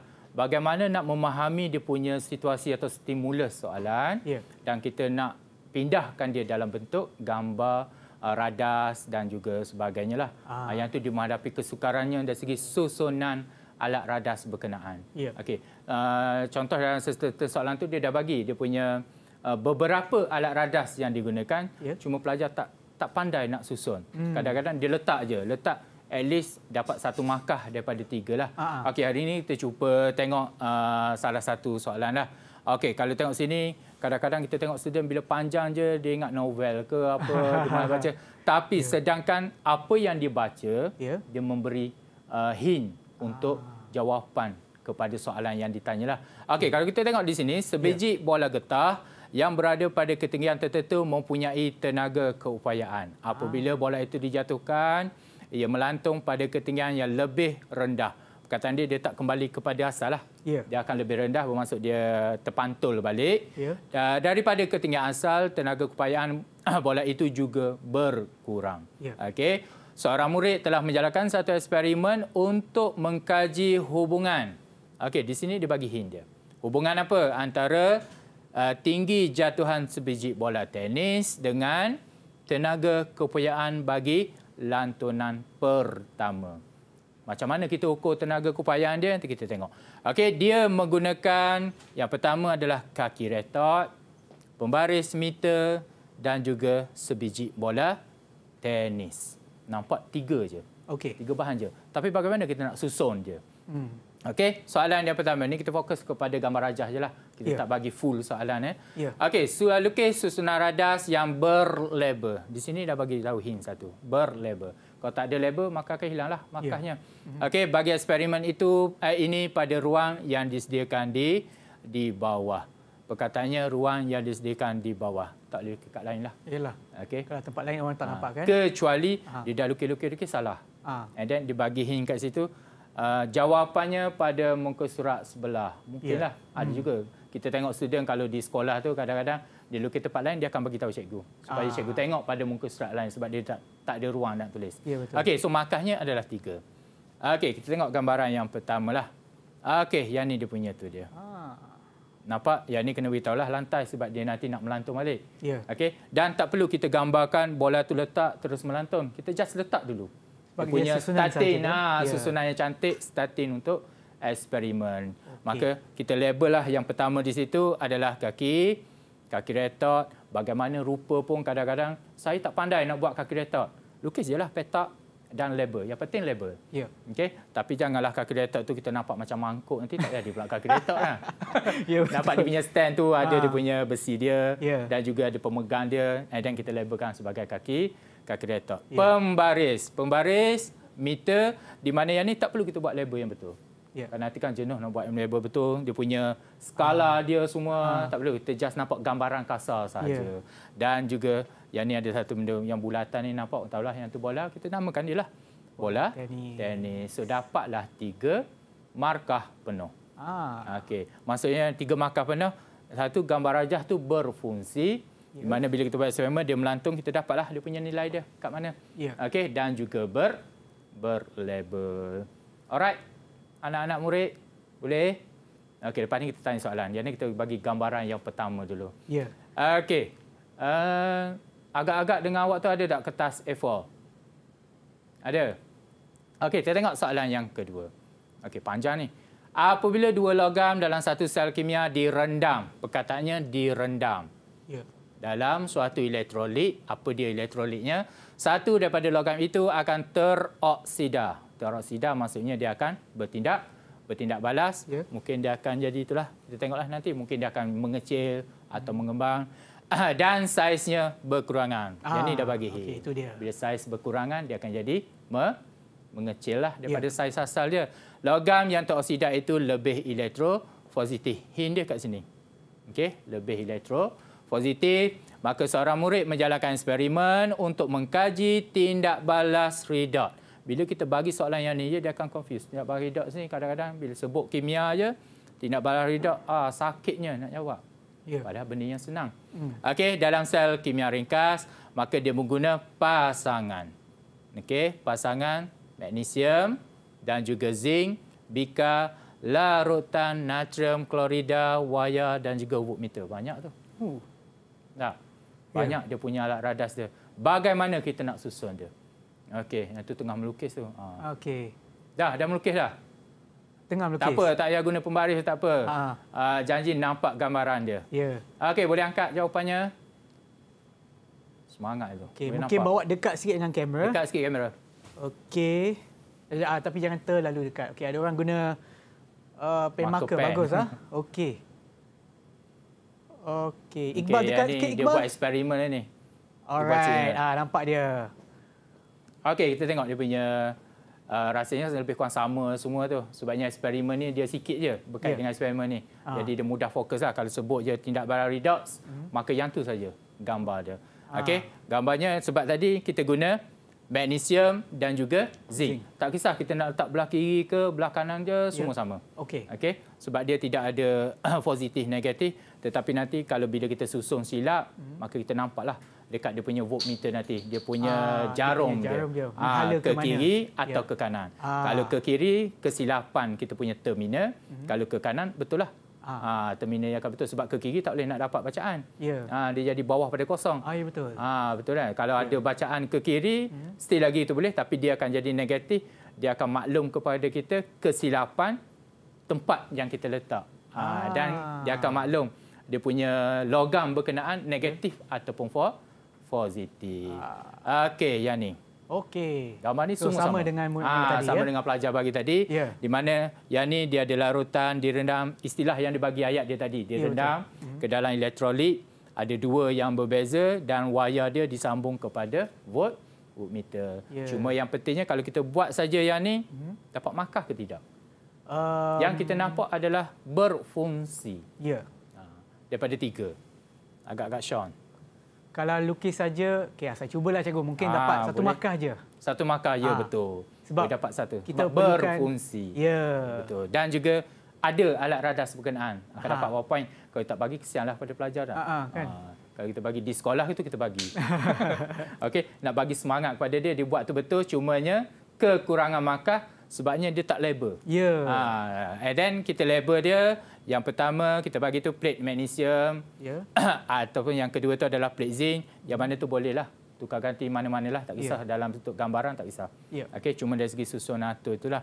Okey, yang ketiga adalah larutan natrium klorida. Yang ini penting. Sebab di atas sudah bagi tahu larutan apa. Ya. Okey, dan juga voltmeter. Ah. Tetapi kalau kita tak buat yang ni, kita dah bagi yang ni, V.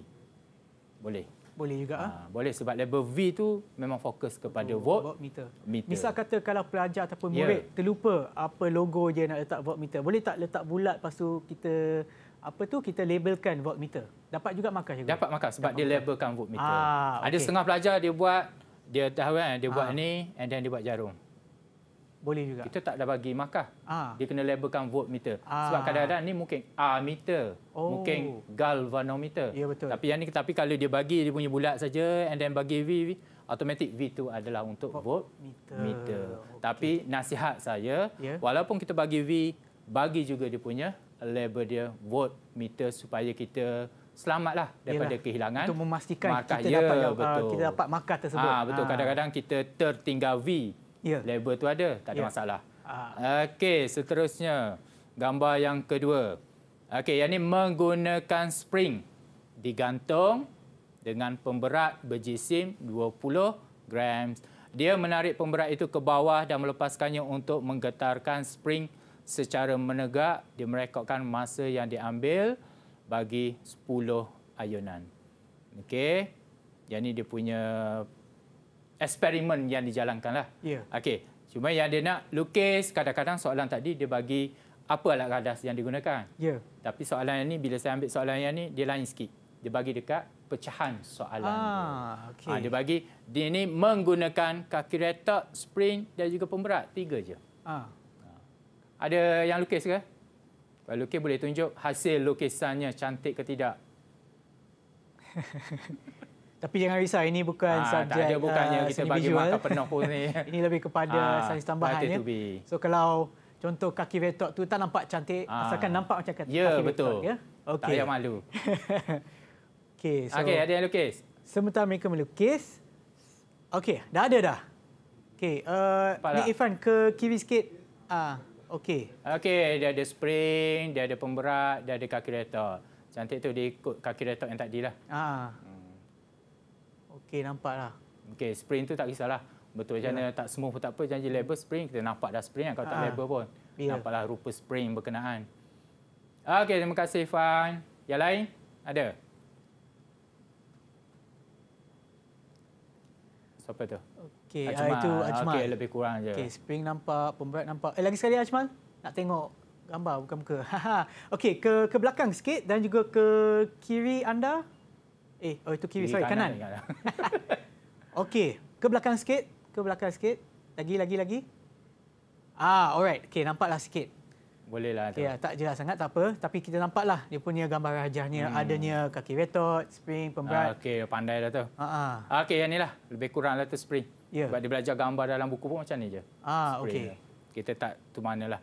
Okey, dia gantung pada kaki retot, maka kita label lah kaki retot, spring dan juga pem pemberat yang digunakan. So dapatlah tiga markah di situ. Ya. Okey. The next. Ada lagi? Nak tanya? Ada yang nak tanya tak berkait dengan gambar rajah ni lah? Ada yang Rasa tak saya jelas dah ke? cukup dah tu untuk tiga tiga contoh yang diberi. Yang lain-lain tu lebih kurang je lah. Ya. Ha, cuma kita nak tengok apa yang diberi, Ya. kita gunakan pada gambar kita. Dan yang penting, le, Label. label. Ya. Ah. Kadang-kadang soalan, sebab soalan mesti dia akan fokus ni. Sebab bila saya tengok beberapa soalan sebelum-sebelum ni, mesti ada perkataan lukis susunan radas yang berlabel. Ya. Ha, dia nak berlabel. Maka dia dah bagi tahu hint kepada kita dia nak label. Ya. Ha, kalau dia tak bagi, maka uh, kita tak bagi label, automatik dah kita di penalti lah. Ya. Ha, soalan macam dah tu, dibuat. cikgu. Ya, betul. Ah, ah. Okey, boleh? Okey, yang kedua kita fokus kepada yang kedua. Yang kedua, yang ni kesilapan amat banyak. Oh, ya? Mengambil data. Ya, betul. Ah, okey. Mengambil data kadang-kadang uh, dia termiss soalan ni. Mhm. Termissnya bacanya tak habis. Aha. Mungkinlah kot. Ya. Mungkin dalam keadaan Yang- orang panggil apa? Gabra. Ah, gabra, gabra. cuak, Cuak. nervous. Ya. Ah, bahasa-bahasa Terengganu lah. Gabra, cuak, nervous. ah. Yang paling mudah, nervous lah. Ah, nervous. Okey, nervous. Kadang-kadang dia tersilap baca sebab di sini dia akan nyatakan bagaimana kita nak dapat nilai berkenaan yang saya gariskan ni.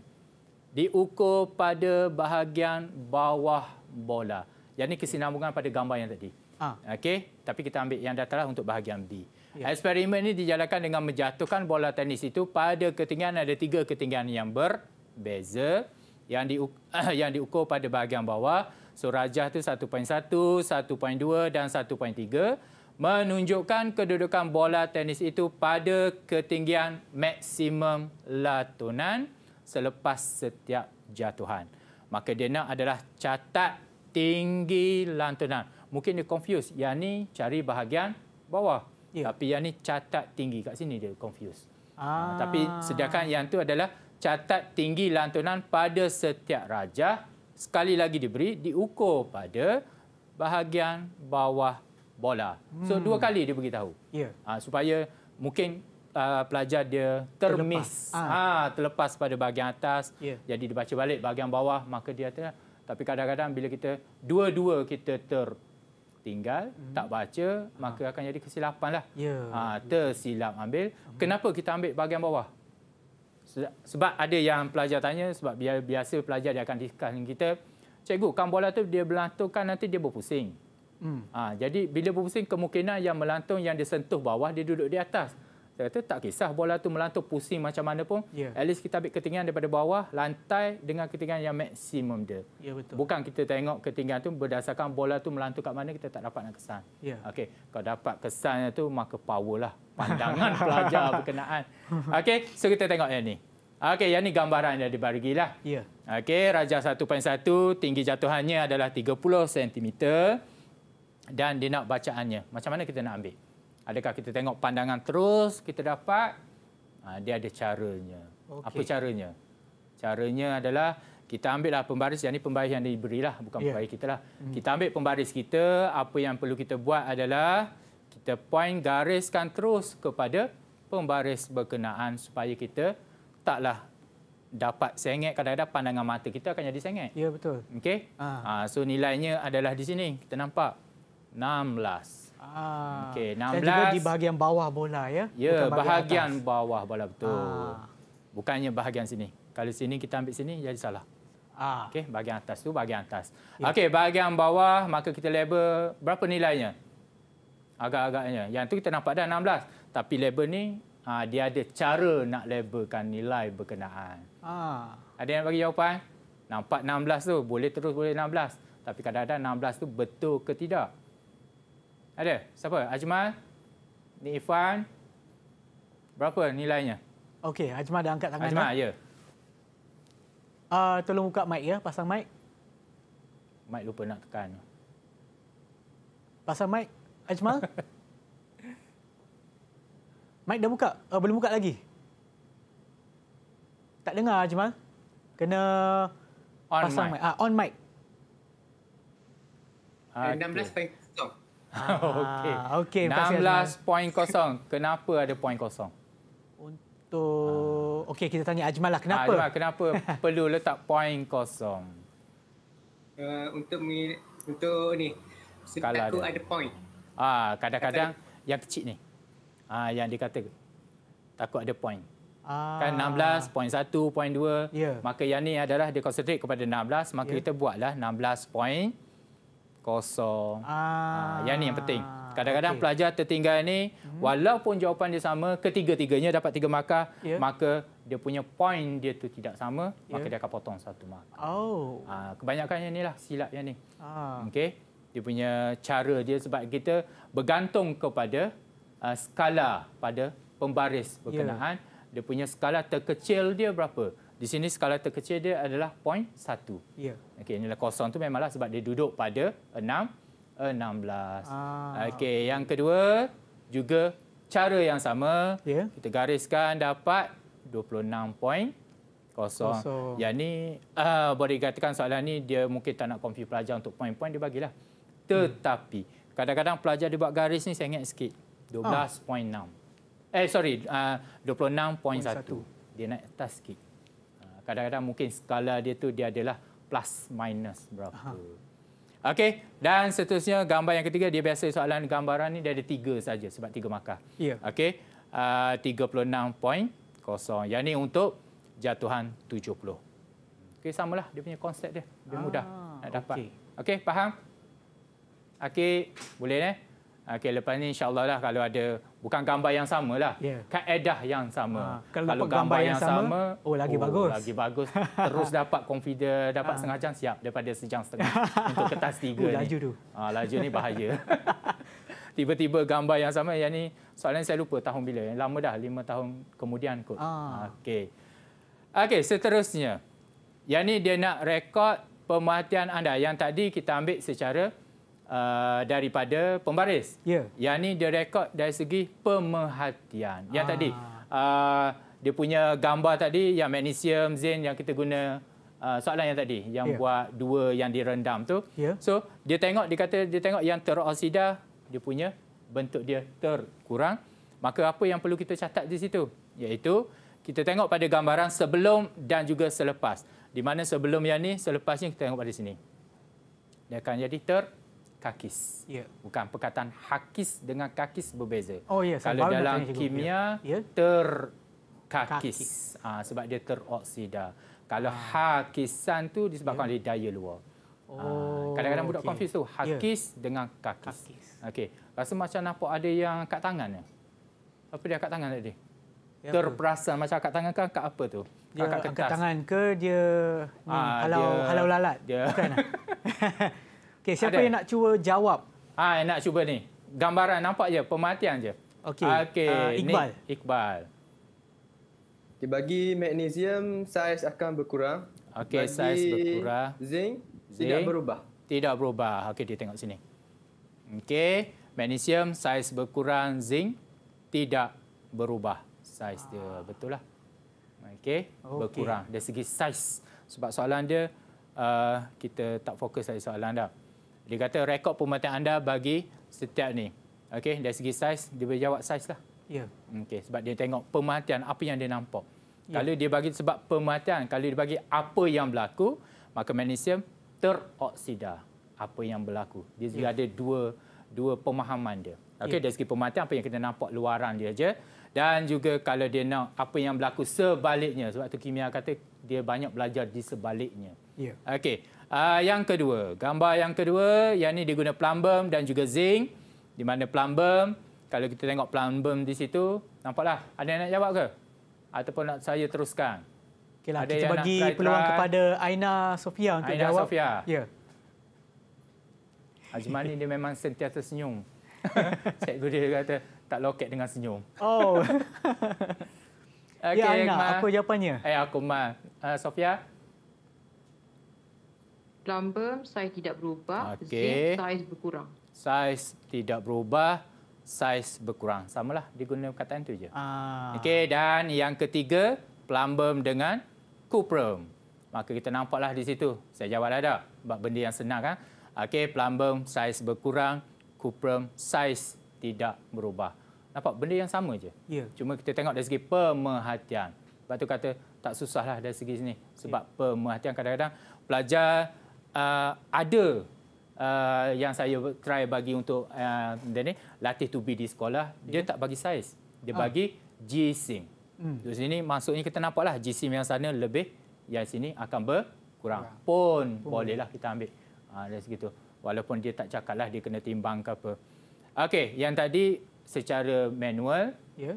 Lepas tu yang tadi secara apa panggil uh, kualitatif. Ya. Nampak dia punya tu. Yang ni kuantitatif, kuantiti tetapi secara digital. Okey. Okey, hintnya di mana? Hintnya di sini kalau kita nampak jam ni rata-ratanya payah. Kenapa 91? Kita belajarnya 60 saat saja. Ah. Yang ni adalah mili saat. Mili Mili saat dia 99 dia 100.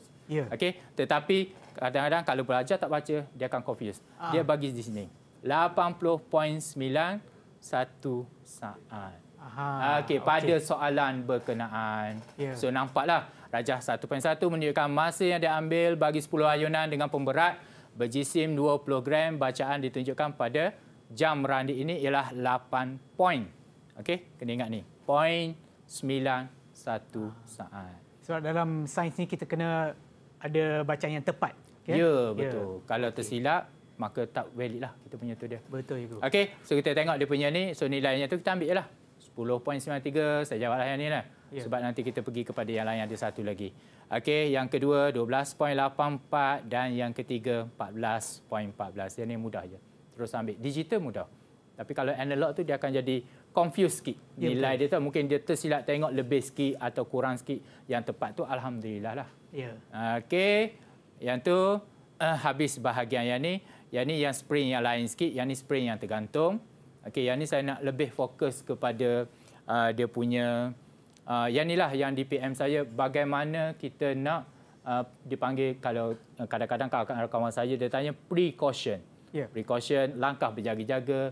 Bagaimana kita nak uh, benda ni nak tingkatkan kita nak buat untuk dapatkan bacaan. Bacaan tadilah bacaan yang lebih baik dan sebagainya. Yang ini kita tengok pada soalan yang biasanya. Okey, yang saya nak pergi terusnya adalah kalau kita tengok sini, menjalankan eksperimen mengkaji hubungan antara jisim pemberat dengan tempoh ayunan spring menunjukkan susunan radar sebagai eksperimen ini. Okey, yang ini dia bagi data. Okey.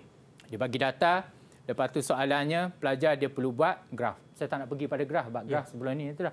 Cuma saya nak bagi uh, secara uh, ringkasnya adalah bila sebut T kuasa 2, yang ni pelajar dah tahu uh, rata-ratanya semua dah tahu. Ya. Melawan M.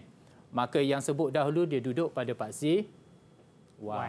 Yang sebut kemudian duduk pada paksi X. Maka dia buatlah dia punya graf dia yang dah bentuk graf ni. Ah. Okey, kita just nak tengok gambaran graf. Yang Ya. pentingnya soalan ni dia ada satu lagi yang penting. Okey. Yang penting yang ni. Yang ni kadang-kadang ditanya, kadang-kadang tidak. Tapi yang ni pelajar rasanya susah. Ha, itu yang angguk tu Ajmal dia angguk kepala tu. Susah bagaimana kita nak dia kata untuk memperbaiki eksperimen dia nak tiga cara bagi kita dapatkan keputusan yang lebih tepat. So kita tengok kepada kepada apa? Kepada alat radas dia. Alat Ah. radas tadi diguna apa? Spring Ya. dan juga pemberat. Ya. Okey. So bagaimana kita nak improve dia? Cara dia tu adalah yang pertama. Ini kita just share je lah. Ya. Yang pertama guna spring kekenyalan dia rendah. Ya. Okey, kalau kita guna terlampau keras sangat dia akan Dia takkan Ah. ayun terlalu banyak lah. Ya, betul. Ayunan keras. dia tukar, dia keras sangat. So Ya. kekenyalan dia rendah sikitlah. Maksudnya untuk dia berayun tu Ya. ah, mudah kita dapatkan nilai dia tu tu tak ada masalah. Ya. Okey, yang kedua guna spring panjang dan juga longgar. Ya. Okey, kalau spring panjang tu bila kita tarik kalau yang pendek tu tarik dia akan mudah patah. Betul. Okey, kalau yang panjang tu kita tarik tu tak adalah dia nak tu sangat. Dia akan tarik sikit and then kita lepaskan maka dia akan uh, berayun yang tu. Ya. Okey, yang ketiga guna jam randi untuk merekod masa bagi setiap ayunan. Kenapa guna jam randi? Setengah pelajar dia guna jam dia sendiri. Oh. Ha, kita bagi jam randi, dia tak pandai nak tekan, jam saya lah mudah. Dia pun gunalah jam yang dia ada yang analog dia tu saat. Ha, yang tu dia akan mengganggu sebab jam randi nilai dia saat dia tu kecil lagi kalau jam kita punya tu kita hanya boleh saat yang biasa je lah. Ya betul. Ha, kalau jam randi ni dia ada yang mili saat dia dan sebagainya lah. Ya. Kalau yang digital dan juga yang analog. Ya. Okey, yang keempat, ah yang ni penting. Biasanya ramai jawab yang ni. Ulang eksperimen untuk mendapatkan nilai purata. Purata. Bukan kita buat sekali je. Ya. Ah kita buat dua tiga kali and then kita campur ketiga-tiganya, katakan tiga kali kita campur, kita ambil yang purata. Ya. Jadi kita dapatlah yang lebih baik nilai berkenaan. Ya betul. Okey, boleh yang tu? Faham? Biasanya uh, kata-kata cikgu, awak buat yang ni. Apa saja eksperimen buat je. Mana tahu nasib baik dapat ulang eksperimen, ulang eksperimen. Soalan tak tanya pun dia buat juga ulang eksperimen. dia, dia cuba jaya. Ya. Panggil dia cuba jaya. Ya. Okey, seterusnya kita tengok kepada yang lain lah. Ya. Okey, yang tadi yang berkaitan dengan fizik, yang ni dan kimia. Okey, nombor proton, takat lebur. Yang ni juga buat graf macam biasalah. Cuma saya tak tunjuk yang ni. Kita pergi kepada ni. Yang ni adalah langkah berjaga-jaga. Yang tadi untuk memperbaiki keputusan. Bagaimana kita hadkan kajian. Dipanggil had kajian dia. Ya. Okey. Yang ni tiga langkah berjaga-jaga mesti diambil apabila mengendalikan unsur tersebut. Unsur apa? Unsurnya adalah menjalankan eksperimen unsur kumpulan satu. Pelajar tahu unsur kumpulan satu ni adalah unsur yang reaktif. Okey. Okey. Kalau kita pegang, sama ada dia mengeluarkan bunga api, sebab Ya. tangan kita lembab. Ya. Nak-nak kalau kita guna sanitizer ada alkohol, Oh. oh, boom, terbakar. Boleh buat magic lah. Ya. Ah. Tapi magicnya tu takut dia meletup. Ya, betul. Ah, bahan kimia berkenaan, maka keselamatan itulah yang diutamakan. Okey. Yang pertama, kita guna forceps. Hmm. Okey, kalau Terengganu dipanggil apa? Pengepit. Pengepit. Ah, pengepit ada yang panggil sepit. Sepit. Sepit udang. Ah, okey. Ah, yang ni kita guna kalau sains kita panggil Forceps. Okey, yang kedua kita guna logam tu dalam saiz yang ke kecil sebab dia mudah bertindak balas. Kalau guna saiz yang besar, bila dia tindak balas dia take times, dia ambil masa. Ya. Kalau dia keluar bunga api tu, jadi banyaklah bunga api dia nanti. Ya. Bila dia tindak balas dengan air. Okey, yang ketiga kita gunakan cermin mata keselamatan. Boleh tak guna cermin mata saya? Boleh, tapi awak bukannya cermin mata keselamatan. Ya. Maka gunalah uh, biasa dia panggil uh, goggle, bukan Google. Ah, bukan. Ah, itu Ah, benda lain. Google. Ah, Ah, ini Google tu Google. lain. Ah. Google tu nak cari bahan-bahan dia berkaitan yang dipanggil Google. Ya. Okey, cermin mata bahasa Melayu, cermin mata keselamatan dan memakai sarung tangan semasa eksperimen. Sebab apa saya kata sarung tangan tu? Sebab kita tangan kita ada lembapan, ah. kelembapan dia mungkin tangan kita ni berpeluhnya lebih. Ya. Okey, nak-nak kalau cikgu depan tu dengan suaranya tinggi apa semua berpeluh, Ah. pegang je dia punya ni bahan kimia ni, aduh. Oh. Cepatnya tu. Ha, itulah kena hati-hatilah banyak Ya, benda betul, tu. Okey, yang kelima jalankan eksperimen dalam kebuk WhatsApp lah kalau ada kebuk WhatsApp ni. Hmm. Tapi kalau tak jalan kamu tak ada masalah. Cumanya sebab di sini dia kata langkah-langkah berjaga ni untuk mengendalikan alat tersebut lah, bahan-bahan tersebut. Ya. Okey, ada lagi. Dan tidak dedah bahan tersebut dengan air. Air. Sebabnya uh, kumpulan satu ni dia simpan dalam parafin, minyak parafin. Ah. Okey, beres? Boleh? Okey, boleh. Dan seterusnya yang ni kalau ni yang ni naik turun tangga. Okey, naik turun tangga yang ni biasanya kalau uh, zaman zaman-zaman saya dulu, dah tua dah lah, zaman-zaman dulu. Jadi kalau sekarang ni lah dia turun tangga ni dia nak cek uh, nadi dia panggil ujian segak dalam Ah. PJK lah. Ya. Okey, so yang ni langkah dia yang pertama. Bagaimana kita nak uh, langkah berjaga-jagalah responden tu student lah yang kita guna. Ya. Okey, di mana dipanaskan badan dulu yang ni untuk mengelakkan dia keletihan lah melakukan aktiviti. Okey, turun tangga tu mestilah sesuai dan juga selamat alat yang kita gunakan lah. Okey, yang ketiga bilangan naik turun tu tidak perlu terlalu banyak untuk elakkan kepe, kepenatan dia setaman naik turun dia tu hendaklah dilakukan di atas permukaan rata. Ya. Dia tak boleh lah. Kalau tak rata nanti kan mudah mudah jatuh ke semua. Ya, betul. Ha, biasanya tu dan respon dia tu hendaklah memakai kasut sukan yang sesuai untuk elakkan tergelincir dan bangku tu tidak terlalu tinggi lah. Kalau tak nanti dia susah nak naik ke nak jam tu dia akan jadi masalah lah. Ya, betul. Okey, mudah penat dan sebagainya. Okey. Ada dan ada satu lagi lah. Yang ni tiga cara yang tadi langkah berjaga-jaga. Kadang-kadang soalan dibagi dua uh, dua soalan. Satu dia nak langkah, satu lagi dia nak cara untuk perbaiki uh, keputusan dia. Kadang-kadang kita dapat keputusan grafnya tu tak cantik. Bagaimana kita nak baiki dia? So, cara yang pertama adalah ha, yang saya kata ulang eksperimen. Tapi mesti ada perkataan ni. Untuk dapatkan bacaan purata. Kita tak boleh buat yang ni je. Kenapa kita ulang? Nak dapatkan bacaan Purata. purata. Guna stetoskop untuk mengukur denyutan jantung. Kadang-kadang Ah. kita tak berapa nak uh, cek kita Ya, punya susah nadi kita. kan? Ah, Ah. yang tu.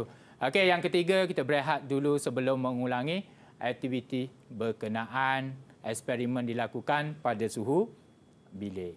Okey, suhu bilik tu ataupun dalam uh, satu bilik gym ke Ya. masalah. Ha. Tak semestinya bilik tu aircon. Ya. Okey, dalam keadaan yang biasalah. Jangan terlalu panas nanti dia akan memenatkan lagi lah dia punya tu. Betul, Bila betul. penat kita naik turun tu slow and then kita punya denyutan jantung tu mungkin jadi kurang lah. Ya. Okey. Dan guna jam randik lah. Ha, yang ni mesti dia fixkan kepada jam randik untuk menetapkan masa bagi setiap set latihan naik, naik, turun. Okey, beres? Tak ada masalah. And then ada satu last ha, sebelum kita berehat. Ya. Satu saja. Okey. Yang ni saya pergi kepada yang tadi dah ada uh, radas dan bahan untuk buat gambar rajah, eksperimen tu. Ya. Yang ni pun sama. Tapi yang ni dia tengok pada situasi. Hmm. Okey, cuma saya nak bagi situasi ni dia kata tali yang panjangnya berbeza. Dia nampak sini. Dia bagi situasi kadang situasi pelajar bila masuk dalam eksperimen, dia masuk dalam makmal nak buat eksperimen, Ya. dia masih lagi guna tanglung. Macam mana nak dapat tanglung? Chinese New Year boleh dah dapat. Ah, kan? boleh. Ah, tapi kita tukarkan tanglung kepada apa dalam makmal kita. Ya. Maka kita tukarkan apa? Dia kalau kita tak pandai nak tukar dia akan bagi tahulah. Okey, dia mendapati tanlung yang digantung dengan tali yang ni panjang mengambil masa lebih lama eksperimen untuk mengkaji hubungan tempoh hayunan dan juga panjang bandul dan susunan radas yang ni yang kita ganti. Tanlung tadi Ya. kita gantikan dengan uh, ladung. Okey? Untuk eksperimen lah. Eksperimen Ah. di makmal dan cara dia. Yang ni dia ada kaki, kaki letak, cara kita letak pada hujung meja. Ya. Sebabnya panjang yang ni Ya, tergantung. supaya tidak terganggu pada kaki meja. meja, Bila ya. kita ayunkan dia seperti kita ayun tanlung lah. Ah, ya. Ha, okay. Tapi jangan letak tanlung nanti dia besar. Ah. Sebabnya kita nak uh, benda tu mudah dapat daripada uh, makmal kita. Ya. Okey.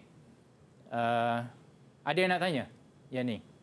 Yang ni biasa kadang-kadang pelajar dia susahnya dia kata tak faham situasi daripada gambar berkenaan. Hmm. Ha, bagaimana kita nak tengok situasi berkenaan dan kita nak explain dalam betul. Ya, nak kaitkan Ah, dengan- nak dengan kaitkan dalam untuk, makmal, ya. ah, untuk dah buat dia punya eksperimen tu lah gambaran. Di mana Ah. yang ni kalau kita buat gambar ni dia boleh bagi kita markah secara tidak langsung. Ya. Di mana susung atur ni 1 2 3 4 ni dah bagi tahu susunan radas, dah bagi tahu dia punya senarai radas dan bahan. Ya. Gambar ni juga boleh menerangkan kita bagaimana kita nak buat eksperimen. Cuma yang bezanya adalah kita just guna satu je. Ah. Kalau kita guna gambar yang berbeza, gambar yang sama, Ya. tetapi panjang yang berbeza, Ya. yang tu dinamakan ulangan eksperimen. Ulang Ah. eksperimen maka kita boleh complete. Kita tak pandai nak buat ayat, maka complete dengan gambar sahaja. Baik, yang saya cikgu. kata tadilah gambar biar gambar berbi. Cara. Okey, saya serahkan kepada Sean. Okey, terima kasih cikgu. Sebelum Okey, kita sama. mengakhiri uh, percutan terakhir kami untuk uh, apa ni untuk rancangan ni ataupun untuk subjek sains tambahan, apa kata uh, boleh tak cikgu berikan sedikit uh, kata nasihat kepada calon-calon kami yang akan menduduki eksper- uh, eksperimen pula menduduki uh, peperiksaan pada 9 Mac ya cikgu? Ah ya, 9 Okey. Mac. Ada tiga kertas tu. Ya. Okey. Uh, saya uh, apa ni? Saya ucapkan selamat menghadapi peperiksaan lah. Yang hari Senin ni tak silap saya prinsip account and then hari Selasa sains tambahan. Uh, buatlah yang terbaik. Okey. Dan jangan terlalu overconfident lah. Okey, baca step by step soalan berkenaan, fahaminya dan jawab dengan tenang lah. Okey. Uh, ingat apa yang telah diajar oleh guru-guru anda. Ya, terima kasih cikgu Okey, dan juga terima kasih kepada tetamu khas kami Iqbal, Akib Irfan, Aina Sofia, Ilham, Nick Irfan dan juga Badrul Ajmal kerana bersama kami untuk percutan terakhir bagi sains tambahan uh, di uh, Road to Success SPM 2020 dan lagi sekali te- kepada murid-murid kami yang ada uh, dalam talian terima kasih banyak-banyak dan kita akan berjumpa lagi untuk uh, segmen yang seterusnya. Terima kasih. Bye bye. Lambai sikit. Terima kasih. Bye. Didik TV KPM Assalamualaikum. Saya bapa kepada Nur Ilham Wahida, pelajar Sekolah Menengah Tengku Dela Segara Marang yang menduduki peperiksaan SPM pada tahun ini. Saya mengharapkan pada anak saya, Nur Ilam Wahida, dapat menjawab peperiksaan SPM dengan tenang dan insya-Allah Bismillahirrahmanirrahim dalam genggaman dan kepada semua anak-anak pelajar SPM yang mengambil pada tahun ini insya-Allah kejayaan menanti anda semua berkat daripada doa ibu bapa, guru-guru dan semua. Insya-Allah. Assalamualaikum. Assalamualaikum warahmatullahi wabarakatuh. Bismillahirrahmanirrahim. Saya Zuraina binti Ishaq, uh, ibu kepada Aki Irfan bin Abdul Rais, Sekolah Menengah Tengku Lela Segara. Uh, ini mengucapkan uh, anak saya yang uh, dan juga pelajar yang mengambil SPM tahun ini uh, semoga Allah memudahkan menjawab dengan lancar, betul dan tepat dan semoga maju jaya.